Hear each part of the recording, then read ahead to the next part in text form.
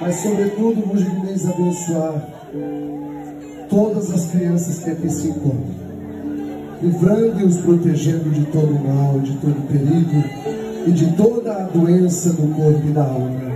Em nome do Pai, e do Filho e do Espírito Santo. Dá para mim de presente? Faz outro para você. Deixa eu levar embora. Deixa.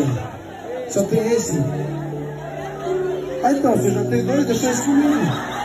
É. O meu sonho é ter um bebê desse aqui.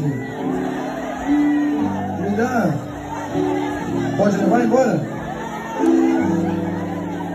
Ah, então toma.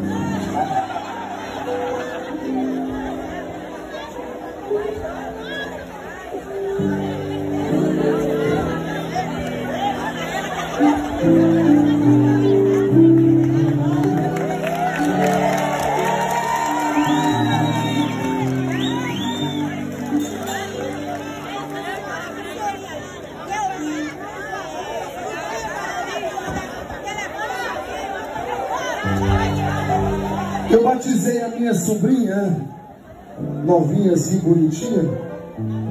E eu fiz o batismo por imersão. É aquele batismo que a gente enfia a criança dentro da água assim.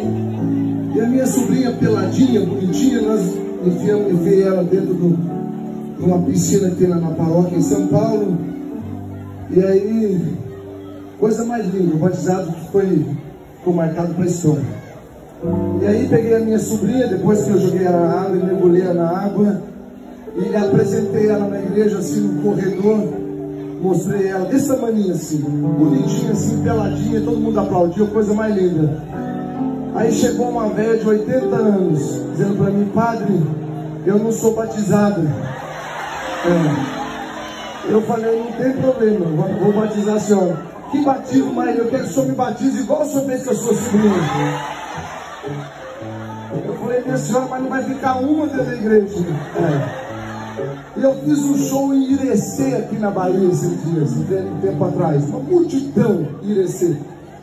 E aí uma velha assim na frente, quase 90 e tantos anos.